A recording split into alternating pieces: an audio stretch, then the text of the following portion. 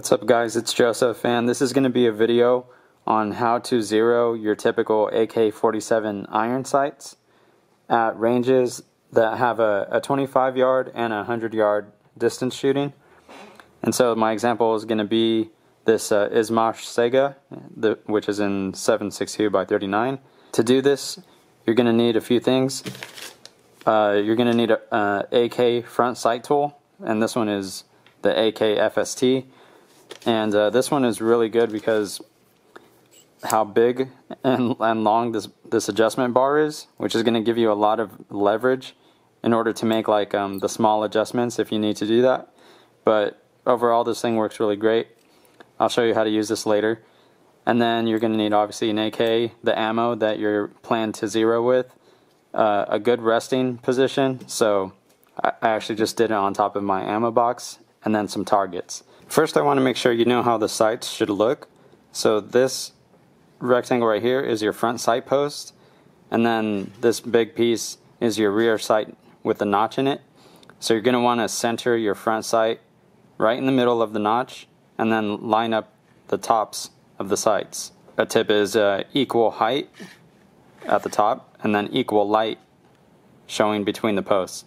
And then um, how I like to zero is with the top of the front post right in the middle of the target. So this is my red target here. And then you're going to start at 25 yards and then set your rear sight to the 2, which means uh, 200 meters.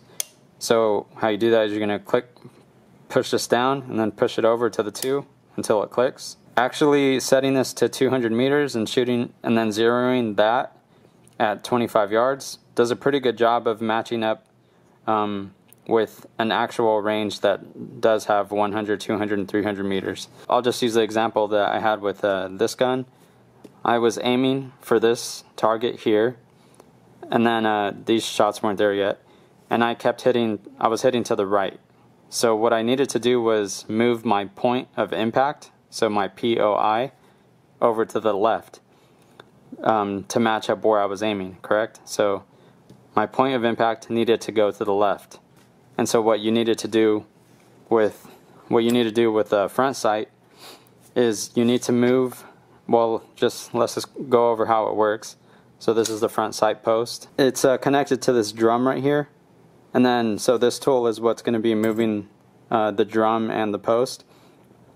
And if I want my my point of impact to be to go to the left, I actually need to move this uh, over to the right.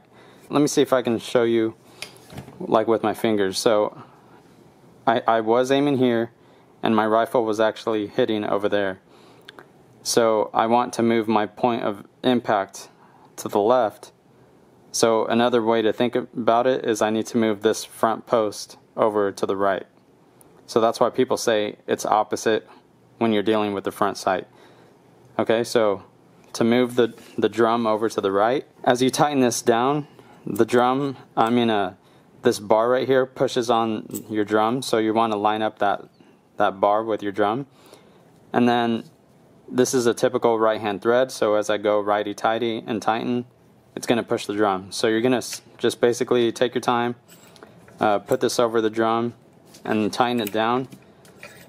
So I can't really do that that well here, but it'll be easier at, at the range until that bar is centered perfectly on the drum. One thing you can do to confirm that is you can look through this hole because actually this hole needs to be right over the drum so that the drum has a space to go when you're pressing on it. You're gonna crank this down so I learned that if, it, if it's more than three inches that you have to move so in this case you're gonna want to do one full spin of the front sight tool. If you're starting here you're want to tighten one full spin and I can't really shit. Like all the way until it repeats um, until it goes back to where you started at. If you're any closer than three inches then uh, adjust with one half turns of this thing. That's how you're gonna do the right to left adjustment.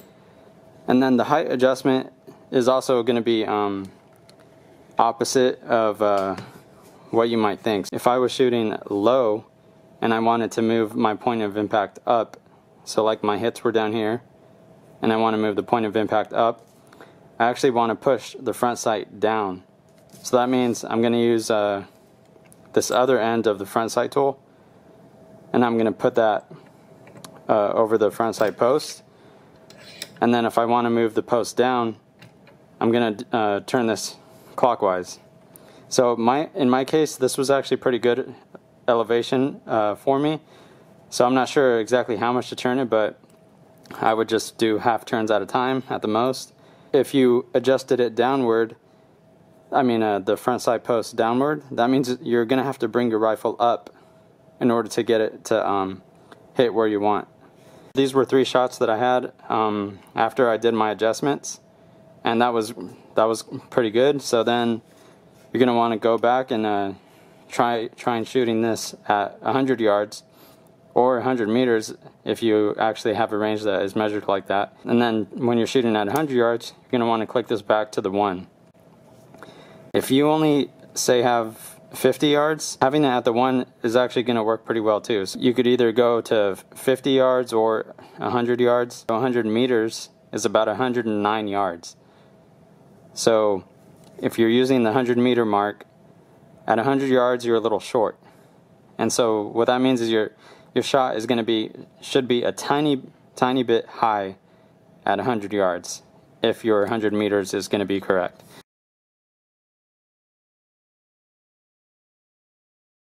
I eventually got uh, a five shot group with these four green circled shots. So this is a group at 100 yards now. I got one, two, three, four, and then one went off of paper, I think a flyer down here. And that was pretty good for me. So I'll show you where my uh, front post ended up.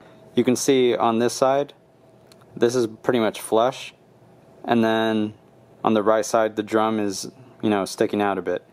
So in order to zero this uh, for, for my needs at 100 yards, the front post didn't need to have to move a lot over to the right. Alright guys, if you have any questions, go ahead and leave it in the comment section.